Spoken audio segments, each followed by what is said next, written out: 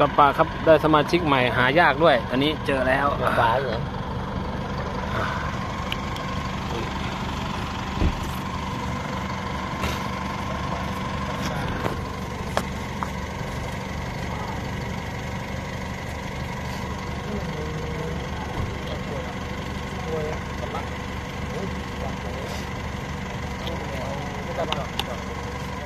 ดูแล้ว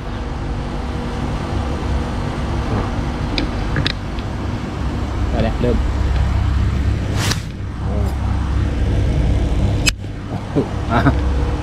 ครับสวัสดีครับวันนี้เราก็จะมาแนะนำนะครับ ใน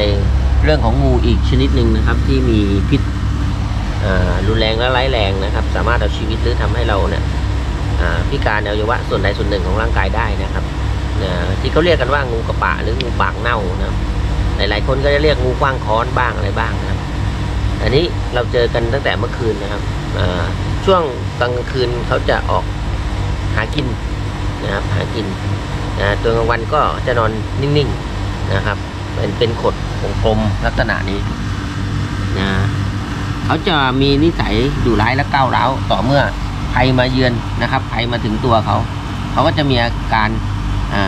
ตั้งหัวขึ้นนะครับแลบลิ้นทีนะครับ หายใจแรงๆนะครับ ขยายเกล็ด แล้วก็สั่นหางนะครับ สั่นหางอยู่ตลอดเวลานะครับ เพื่อแจ้งเตือนว่าไม่ให้ศัตรูเข้าใกล้นะครับถ้าศัตรูเข้าใกล้นะครับ จะฉกกัดอย่างรวดเร็วนะครับนะครับพอศัตรูเข้าใกล้ครับ นี่ครับเขาเริ่มจะนะครับอ่าไม่ค่อยดีอะฉกกัดเลยครับอืมประมาณนี้ครับเร็วครับฉกกัดเร็วมากนะครับพิษของเขานะครับทำลายระบบเลือดนะครับ เป็นหลักเลยนะเป็นหลักเลย เขารู้ว่าตอนนี้เขาฉกกัดแล้วไม่ได้อะไรนะครับเขาก็จะนิ่งๆดูเขาเรียกสังเกตการอยู่ก่อนนะครับ สังเกตการอยู่ก่อน ตอนนี้ประมวลผลอยู่ครับว่าสิ่งที่อยู่ตรงหน้าเนี่ย คืออะไร แล้วงูพวกนี้นะครับจะพบได้ยากนะครับในพื้นที่ที่จะพบก็คือพื้นที่ที่ มีความชื้นนะมีความชื้น อากาศชื้นมีอากาศอากาศชื้นอบอ้าวประมาณนี้เลยนะครับ ร้อนชื้นประมาณนี้นะร้อนชื้น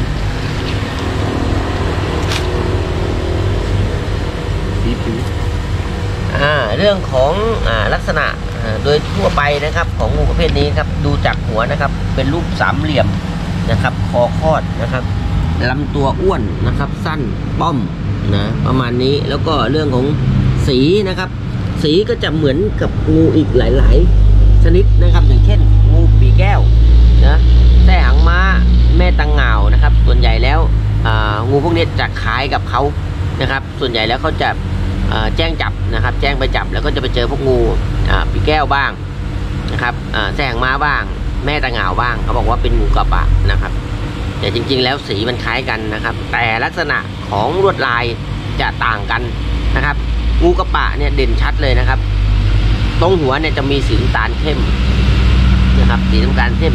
ส่วนตัวที่สังเกตง่ายที่สุดคือ ตรงสันหลังนะครับ สันหลังนะครับ ตั้งแต่คอลงมาถึงหางเลยนะครับ ก็จะมีรูปสามเหลี่ยมนะครับ รูปสามเหลี่ยมหน้าจั่วนะครับ อยู่นะครับ ตามตัวครับ ด้านหลังนะครับ ทั้งสองข้างขนานกัน หัวจั่วจะชนกันนะครับ อยู่สับหว่างกันนะครับ ก็ประมาณนี้นะครับ ลักษณะนี้เลยนะครับ นี่คืองูกับป่านะครับ ส่วนงูตัวอื่นก็จะมีลักษณะเรียวยาวนะครับ หัวจะไม่สามเหลี่ยมนะครับ หัวก็จะเป็นหัว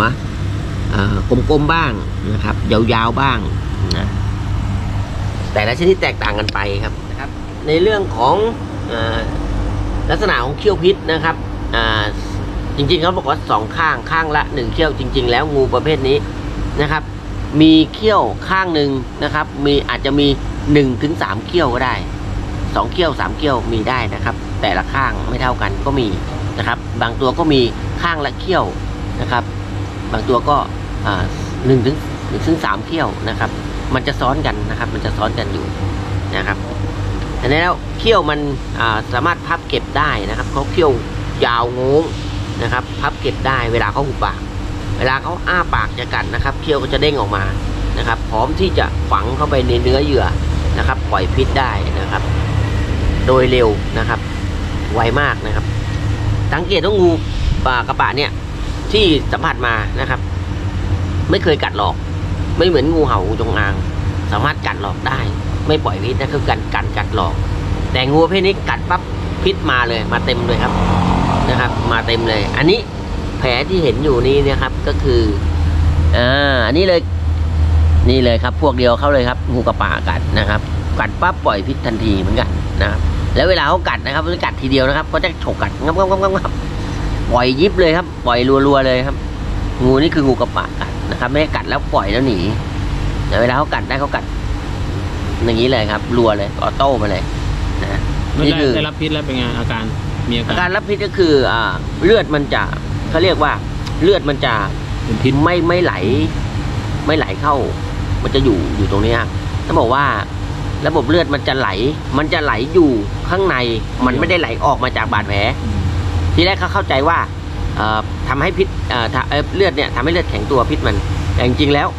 มันไม่ได้แข็งตัว มันไหลอยู่ด้านใน มันแตก มันทำให้เซลล์ต่างๆทำลายเซลล์ต่างๆ อยู่ด้านในของของแผลที่ถูกกัด ของอวัยวะที่ถูกกัดอืมนะครับระยะเวลาหนึ่งก็ระยะเวลาหเนื้นึองเยื่ก็อจะจะเสียอ่าเนื้อเยื่อจะเสียเน่าเสียแล้วก็จะมีอาการเอ่อเขียวอ่าม่วงอืมดำม่วงอ่าดำม่วงครับดำม่วงแล้วก็จะลามไปเรื่อยๆ เข้าไปเรื่อยอืมๆแต่ไม่ได้ไปไว ค่อยๆไปนะครับ ค่อยๆไป ไม่ได้รุนแรงถึงขนาดพวกงูเห่าตรงอางครับ จะค่อยๆไปแต่ ตรงเนี้ยมันจะเน่าและเสียนะครับ ถ้ารักษาไม่ทันก็ก็จะเน่าไปเรื่อยๆครับ ถ้าต้องขูดออก ถูกต้องขูดออก แต่จริง ๆ แล้วอาการน่ะอ่ามันไม่ใช่ระบบประสาทเนาะมันจะทำให้เราปวดแล้วทนไม่ไหวนะครับ บางคนที่มีอายุมากสูงวัยนะครับ ก็จะช็อกตายได้อืมภายในสองถึงสามวัน ก็คือประมาณว่าสาเหตุการเสียชีวิตก็คือจาก ทนความเจ็บปวดเจ็บปวดไม่ไหวไม่ไหวใช่อืมไม่ได้เกิดจากส่วนใหญ่พิษโดยตรง ใช่ครับ ไม่ได้เพราะว่าพิษเข้าสู่หัวใจอะไรแบบนั้นไม่ใช่ใช่ครับอืมจะเป็นการเจ็บปวดเจ็บปวดทรมานทรมาน ทนพิษบาดแผลไม่ไหวอืมอาจจะช็อกตาย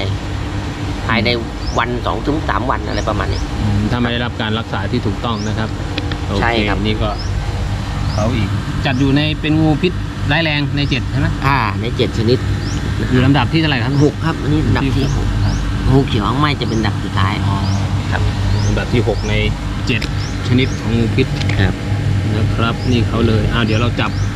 สังเกตนะครับ สังเกตเวลาเขาสัมผัสนะเวลาเขาสัมผัสอ่าสิ่งที่อยู่ตรงหน้านะครับเขาจะใช้ลิ้นสัมผัสปั๊บปั๊บปั๊บปั๊บอ่าเลยถ้าอยู่ตรงหน้าเขาจะแลบลิ้นไปทางหน้าถ้าอยู่ข้างขวาเขาแลบลิ้นไปทางขวา ถ้าอยู่ด้านซ้ายเขาจะแลบลิ้นไปทางซ้ายลองดูอ่า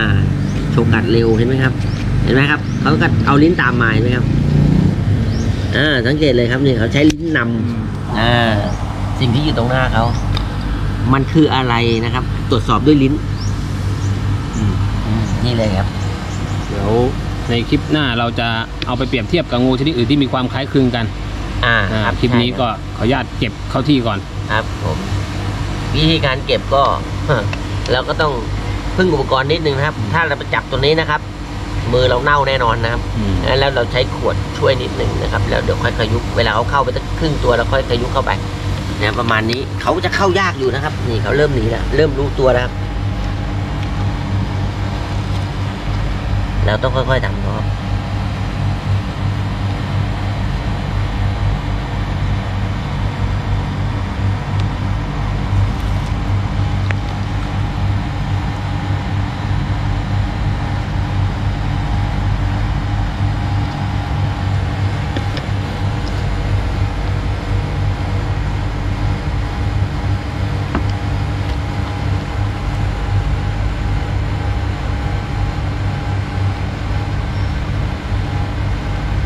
ต้องค่อยๆนะครับ